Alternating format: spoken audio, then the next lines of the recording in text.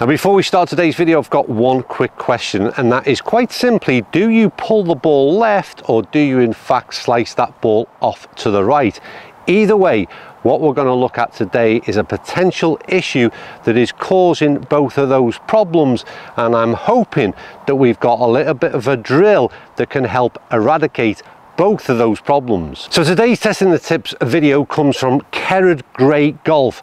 Now that's a new one to me and someone that obviously the link will be in the description below of uh, Kerrod's full explanation and maybe a more detailed explanation than the one I'm going to give you today. This is of course my interpretation of Kerrod Gray's instruction.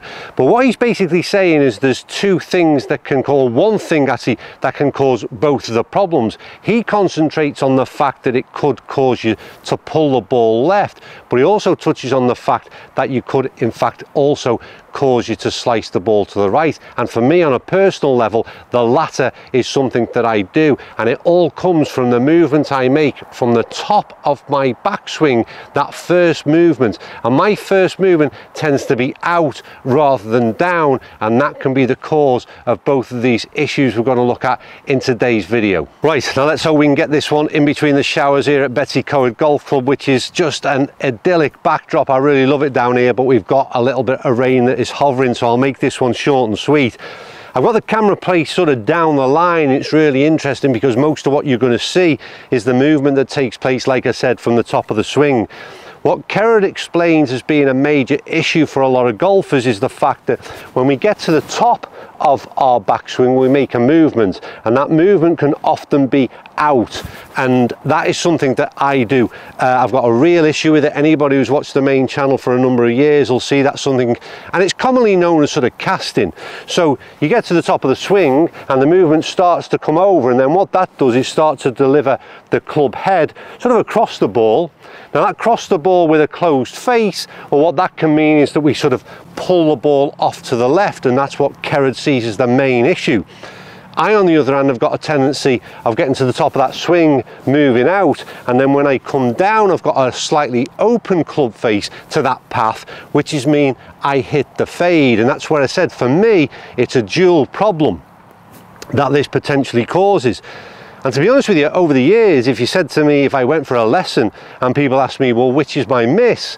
Well, my miss is often both. I've got a left in me and I've got that fade, and that's all down to whether or not I've got that club faced closed or open through the impact position. But the one thing remains constant is it all stems from that movement at the top. So the question is, and Kerrod goes into a lot of description as to what all the issues are, I'm going to skip all that bit because I know what they are, I think you know what they are, and quite simply, if you do either of those two things, then what you want to know is what is the solution? Well, the solution is when we get to the top of this swing, we've got to find a different movement to stop us from casting out. The movement should be when we get to the top, we should start to drop down a little bit. So our immediate movement rather than out should be down and start to see the hands and the club shallowing out as we start to make our move forward. And then it's that rotation to release the club head forward. So to the top, instead of coming out, we start to come down, drop our hands down, and then start to rotate. Now what I want you to do is just look at a couple of shots I played earlier on this morning, just testing this out.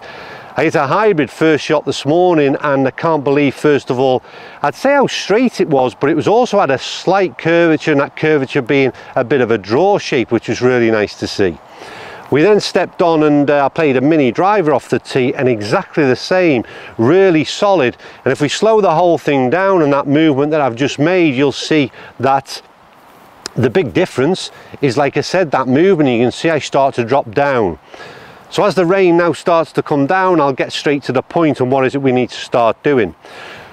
The drill that we're looking to take away from this and what Kerrod explains is what you need to take to the course, or the practice area, sorry, get to the top of that swing and make that movement down in almost a slow motion and then look to release the club head. So we're going to swing to the top, we're then going to feel ourselves down, then we're going to release the club head. So it's almost, I find this bit almost more difficult to do, but I understand that you've got to get those feels, and that's something I talk about in a lot of videos.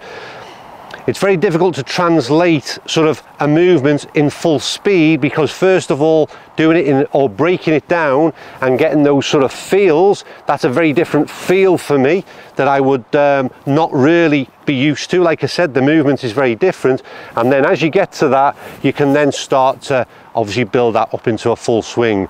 But what I'm going to do first of all is just try and hit a ball down with what would be you know whether that's a half swing whatever you want to call it but just get to that sort of that location and then see if we can sort of rotate and turn through the shot. So we're going to get to the top, we're going to come down and then we're going to hit through. And like I said, let's see if I can do that in a slower motion if you like. So out, down. I actually found that I caught that ball just perhaps a tad heavy but it still worked in the sense that it was a neutral ball flight and hopefully we got into that position. But I've got to say, whilst I like sort of practicing the drill, swinging to the sort of half position and then trying to generate some power, I almost felt it kind of, it stopped me from getting any sort of fluid motion within my swing. So for me, again, personally, the whole idea of testing the tips is me to give my feedback on what I thought from Kerrod's instruction. First of all, I think it's a real big problem and I think he's right to highlight it. But for me, like I said, I would do practice swings where I'm feeling where I'm at, dropping down and turning and rotating. Love all that. But for me, I'm going to hit a ball from this position as well.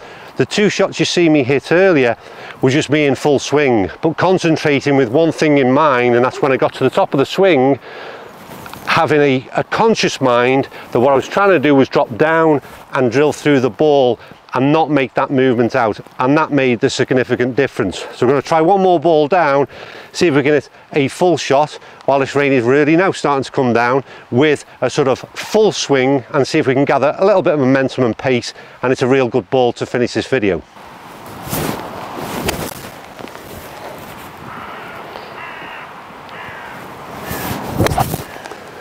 Well first of all what a real good clip that is I'm not sure of yardage, I don't know how far we are away, but that is exactly where I'd want it to be and in terms of the line, neutral in terms of its ball flight, which is really key, but also a really good clip. I'm working on another video or another tip that we took from Alex Elliott video in terms of the takeaway, which is working really well right now as well. As you can see, that rain is coming down. I'm more than happy with the shots that I've hit, and it's only been a few, but the results have been so, so good. Um, I love every bit of these tips. I genuinely feel like it is helping my game. So if you've got that cast motion, just checking your swing right now when you next go to the driving range or on the course, just have a little think, do you move out a little bit? Maybe record yourself would be my tip as well because it's not something I quite realized I did until I watched it back on camera. And then you think jesus yeah that is something that's a movement i make. So if you've got a mate that can just switch the phone on just get a little bit of a look at your backswing film it from behind see if you make that cast in motion. It's really dangerous. Um, like i said it can have a negative impact both left and right. And that is the drill from Kerrod Gray to hopefully straighten things out a little. Right I'm going to get soaking wet. We're going to call it a day. Thank you for watching. Thank you for supporting the channel. Testing the tips is flying right now clearly appreciating what is going on and I'm clearly appreciating the support that is coming back as well so comments likes notifications subscriptions all them things greatly appreciated see you all soon I'm going to get dry